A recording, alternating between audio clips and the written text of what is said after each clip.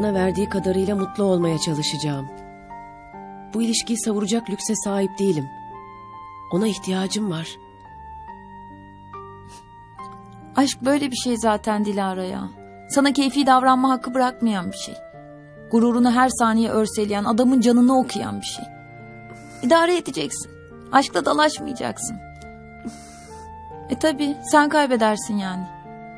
Kim kalbine söz geçirebilmiş ki?